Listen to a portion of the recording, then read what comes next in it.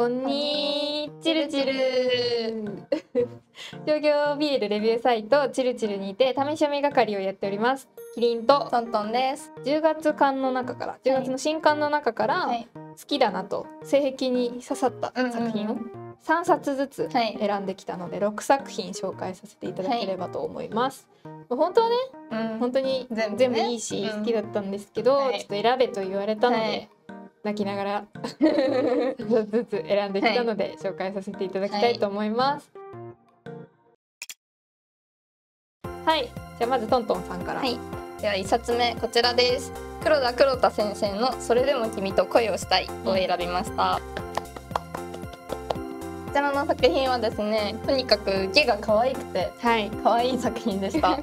すごい新感覚と言いますか、うんうん初めての感覚の受けだったんですけど、はいはいはい。ゆるふわ系うんな感じの子なんですけど、すごいスケベで、ゆるふわインランゆ系るふわいいな受けいいですだったんね。ですすよね。ごい読みたくなりました。お本当ですか？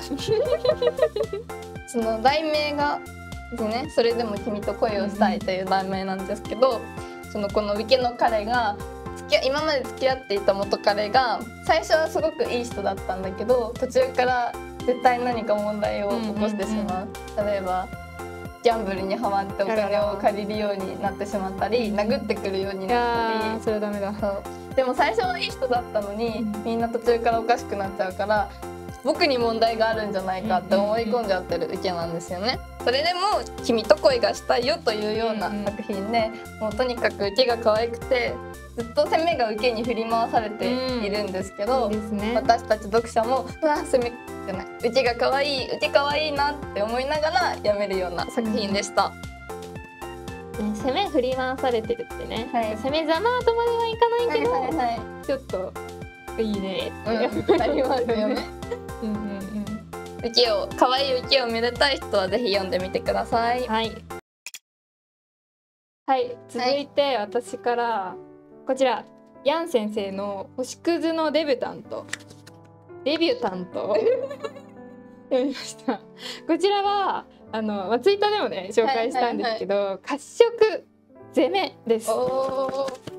おお。やった。褐色はね攻めでも受けて受けでもすごく趣があって好きなんですけど、こちら結構好きなシーン結構あるんですけど、はいはいはいなんかあのズコズコ感があんまないっていうか、はいはいはいはい。前儀みたいなスケベ あの受けの方も結構体格がしっかりしてるので、はいオスはい。オスパイが オスパイが結構豊満なおオスパイをされてそうたわわなんですね。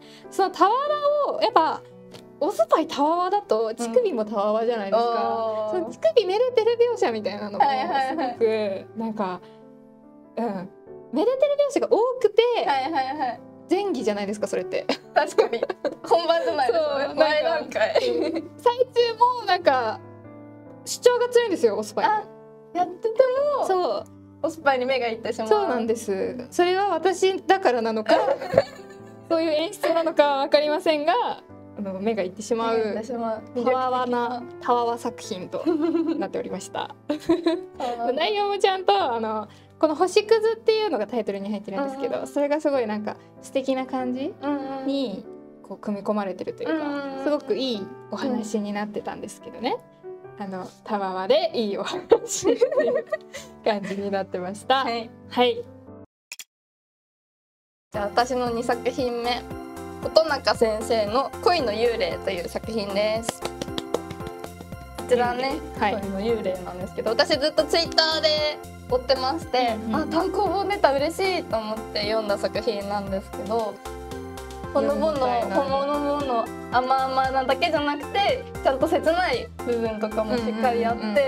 あよかった読んでって思った作品ですね。なるほど。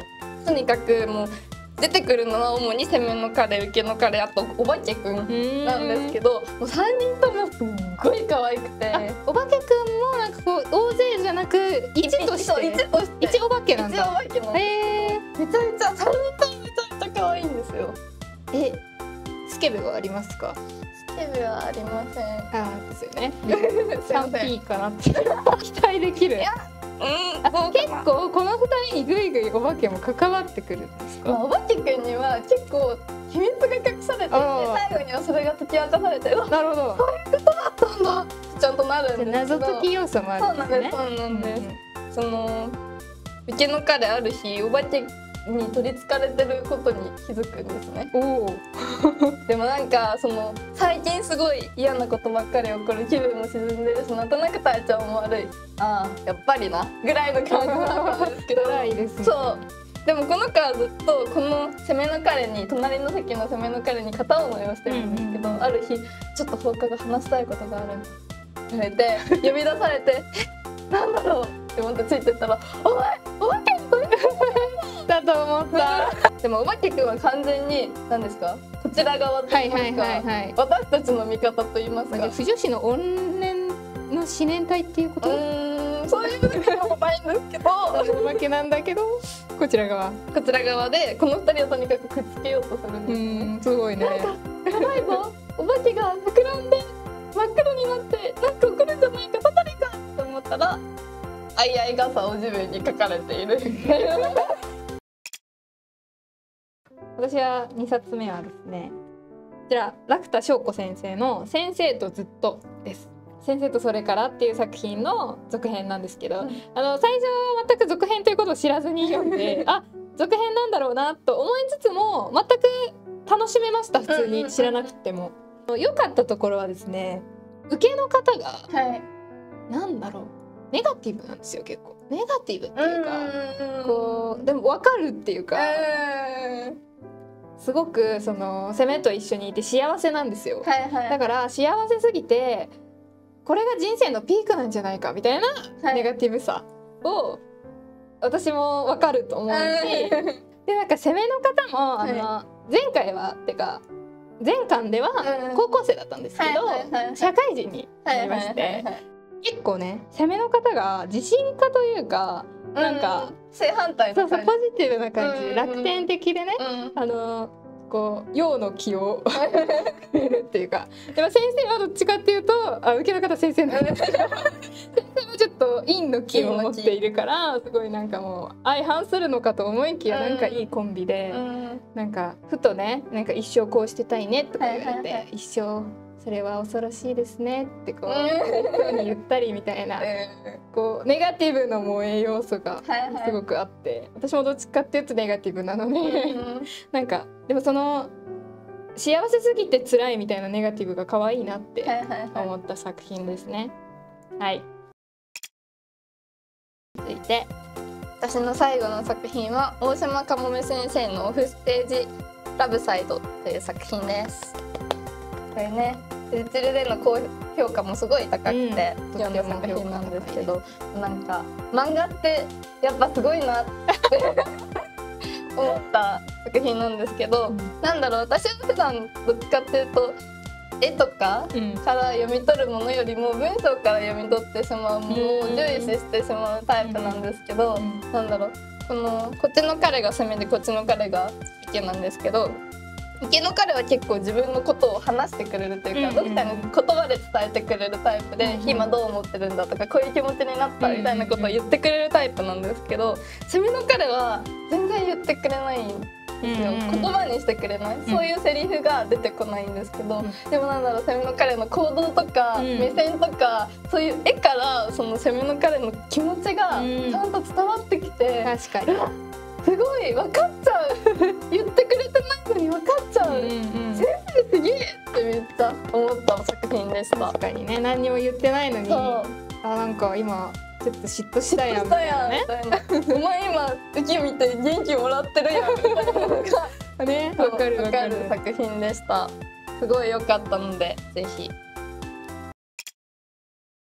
じゃあ最後に加藤すず先生の「巧みなキスで受注して」ですこちらねあの一昨日くらいに読んだのでホットであの本当に最高だって 何回も言ってるんですけどもすぐ周りの席の人に「あのこれ本当に最高だったんで」ってめちゃくちゃおすすめするぐらい最高であの最高のポイントが本当にいっぱいあってとても上げきれないんですけど ツイッターではね、はいえっと、日焼け跡っていう風に言ったんですよ。うんあのこちらの受けの彼が歌褐色ではいちょっとそのもともと色白ではないが日焼けで褐色になってるみたいな感じなんだけどこの元のちょっと黒いとことすごく黒いところのその日焼けをわざわざね描いてくれるっていうのが、うん平気だもんね。なんねてことしてくれる。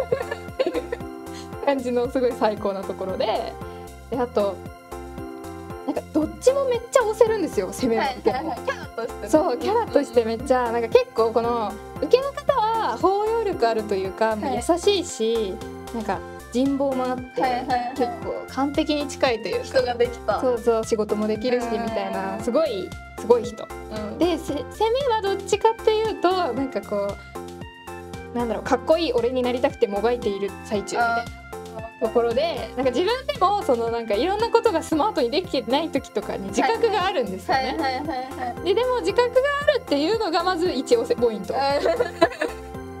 でなんかちょっと恋人に甘えるタイプなんですよ、はいはいはい。だからちょっとこの受けの方に「疲れたわ」みたいな。うん言ってなんか結構恋愛モードに入るとすごいなんか「合鍵作ってね」みたいな「あー。他のやつ連れ込まないでね」とか。すごい要望多いんですけどうんそれに対してなんかこう受けの方がいつもの通り大人な対応をするからあ「え俺ってうざい?」みたいな。